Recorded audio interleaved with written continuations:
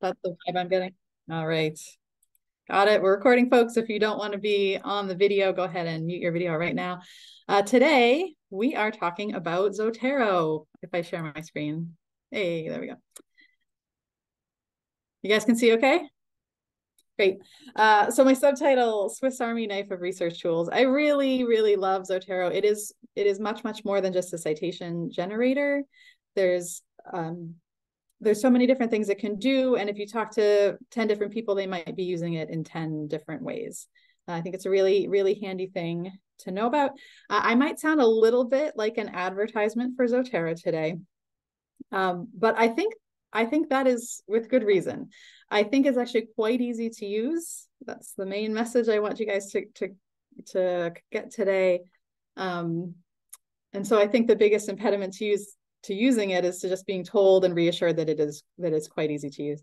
Um, so we'll start with the fact that it uh, it's going to work across 99% of your setups. So if you are using any of the uh, operating systems on the left or any of the browsers on the right, this is something that is going to work right out of the box for you. Um, and if even if you are an outlier and you use something different than this, there's always a way to get it to work.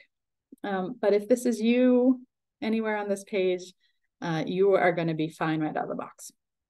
Uh, the reason for that is that this is this is an open source software. Um, so it's free in a couple ways that might be familiar to some of you. Uh, it's free as in it doesn't cost any money. So Zotero, it, there's no fee to download it initially. You're never going to get a monthly fee. It's just yours. Um, you will put a copy on your machine and that copy is yours and no one can mess with it. Um, it's also free for people who have the technical skills to modify it, um, which means there's a lot of really cool plugins and add-ons and things that go with it. Um, I love that it's not monetizing our data, right? This there is no corporation, there's no large um, profit-making entity behind Zotero. That's one of the reasons I sound like an advertisement with it. There's no advertising dollars associated with Zotero. We have to just tell each other uh, when we find something that's good. Um, and I'm here to tell you, I do use Zotero and I do think it is, it's excellent. Um, the, there's a, rabbit is the wrong word, but there's a dedicated community of Zotero users behind it, which um, which means that if you do have a question, it is really easy to find the answer online. Their documentation it's thorough, it is succinct, it's very easy to use. And then if you need help beyond that, the people on the forums are lovely. Um, and I just added this last uh, bullet point. It's billionaire proof, right? Like nobody can buy Zotero and then torpedo it.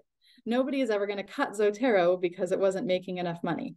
It's not making any money. Right? Um, so, Christin, where can I get Zotero? Uh, you just go to zotero.org right? This, this is not a screenshot of that page. When you go to zotero.org, there's just one download button. Um, just hit that button. It's this easy.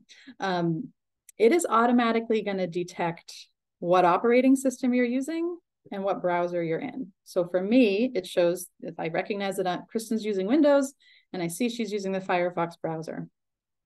And then it gives me two pieces to download. So there's really two pieces you want um, for Zotero to work the, the best. One is a desktop app. That's what this one on the left is. Um, that is a something that lives on your computer, little icon on your desktop. You, you, you can open it up when you're offline. It's, it's yours. And the other piece, the one on the right, is a little plugin that lives in your browser. It's going to put a little button probably on the upper right, depending on your browser, but probably the upper right of your browser that is the way that when you're cruising around the web and you see something and you want to send it to your desktop app, you hit the little button and it goes right in. Um, so yeah, the download process is pretty easy, but do do get both pieces. Um, and the setup, Hannah Mallon reminded me, uh, don't worry about the the settings or the default. Just the default settings are fine, and you can change everything later, right? It's it's not a lifelong commitment. You can just jump in with the defaults and then if there's things you want to change, I promise you we will be able to sort out how to change them. Yeah, so I think it's time for us to do a little live demo. I'm going to show you guys my Zotero here. Now we are looking at my desktop app. Okay, I've got, you can see on the far left column, I've got a set of folders. This is my library. These are my collections.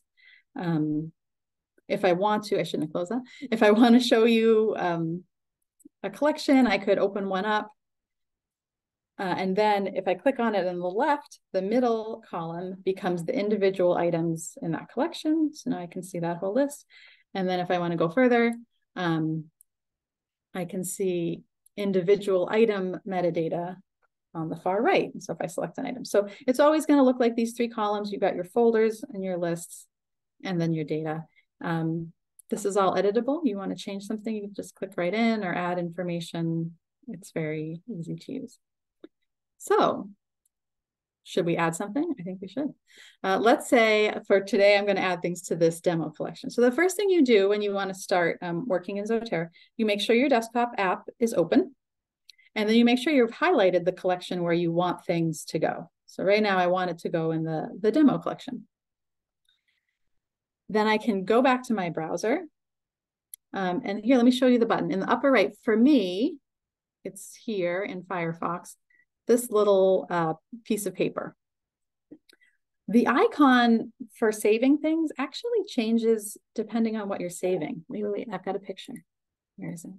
This is the handout, by the way. You guys will have links to this handout as well. Um, so if I were on a page with a book, my icon would look like a book. If my icon, if I were on a page with a video, it might look a little different. But if you hover over it, if you forget what it looks like, just hover and it says, oh, hey, this is the Save to Zotero button. Well, let's say I am in uh, the library catalog, as I often am, and I find a book that I want to add to Zotero. This is my favorite part. I just go up to my Save button, you can see in the little window that opens up, it's saving it to that collection, Zotero demo collection that I selected in, in the app. And now if we go, oh, I gotta move this picture. Now if we go back to my Zotero, you can see in that collection, here's the book and here's the metadata, right? This is usually the point at which people are like, oh, like the light bulb goes off and they say, I understand why this thing is so is so handy because one click, it's done a pretty good job of the metadata. Sorry, I'm trying to move my picture. It's, it's getting long. Um, but again, if there were any errors, it would be no trouble to just go in and edit it. Um, so maybe you're not so impressed because of course, library catalogs so great metadata. What if I'm somewhere else? What if I am on uh, a publisher website. So here's another, here's an example of an article. Now you'll see my icon looks a little different, where it was a book, now it's a page. I just click that and it's saving it. Let's go peek at our metadata again. Looks pretty good. It captured the volume and the issue number. Then again, that's really not that hard to. A lot of publisher, journal publisher websites have pretty decent metadata as well.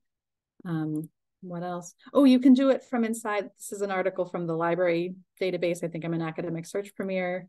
Again, you just hit the this, it's that easy, right? And you're just collecting these items.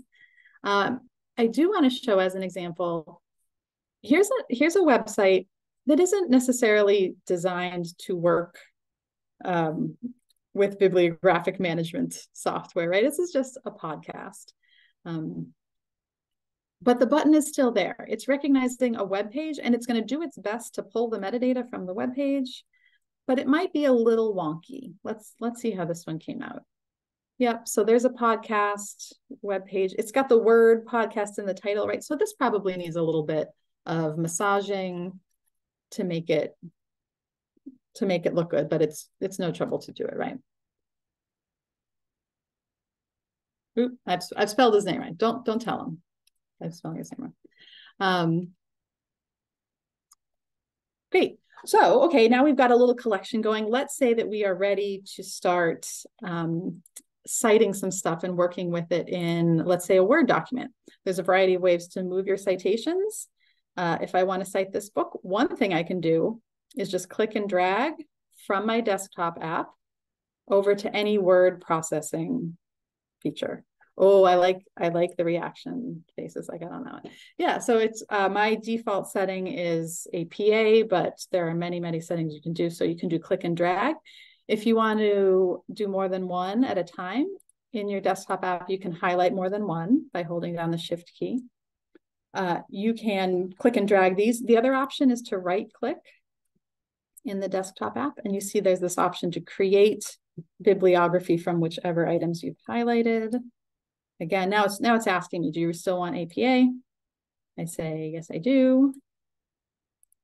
It's copied them to my clipboard. So if I want to put them in my document, I just paste them in. So easy to use. Um, what else? What else should I show you guys? Um, a lot of folks use the tagging feature in Zotero. I, am more of a, a collections and folders person, but sometimes people use both. So within any individual item in the desktop app, you can click on click on it, go over to tags, and start tagging. And then once you've built up a lot of tags, you can filter your collection. Um, I've seen people use this you know, they'll do subject collections and they'll tag stuff like, uh, I've read this or I have unread or this is for this paper or that project. They can tag them in a variety of ways. Um, and then the last uh, really excellent feature, I shouldn't say last, there's, there's something, um, but it's, it's possible to make, um, to share the items that you've found or to build collections together with groups. Um, and up here, these little icons, this is for creating a new group. Uh, I'm not going to walk through this now because it's a little bit more involved, but you have options as far as making groups. I could make a group with just the people in this session, and we could make it so that only we can see our collection and only we can edit it. We could make a public group where our collection might be publicly visible, but only we edit it. Or you could really go all in and make a collection that is editable by the public and visible to the public if you really want to go uh, full scale collaborative on something like that. All right, let's head back here.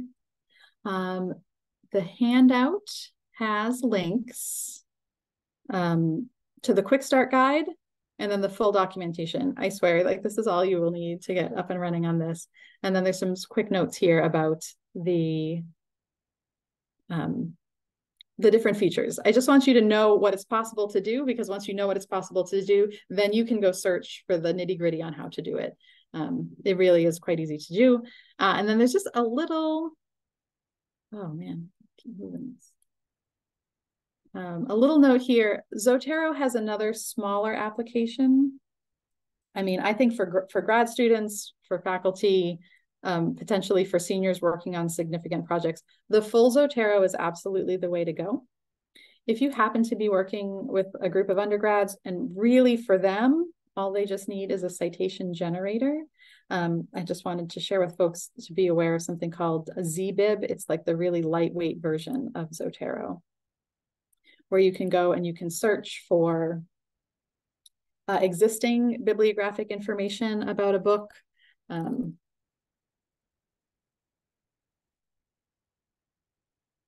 or journal or I mean all of the formats are in there. There's really quite a, quite a few things in here. Um, and it can manually generate, it can automatically generate citations in a variety of formats.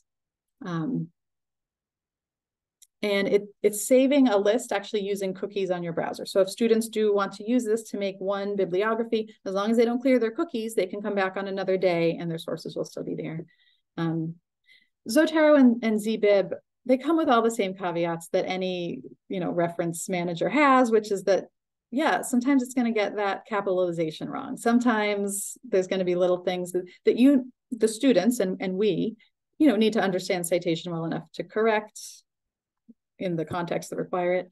Um, but really, it, do, it does a pretty good job.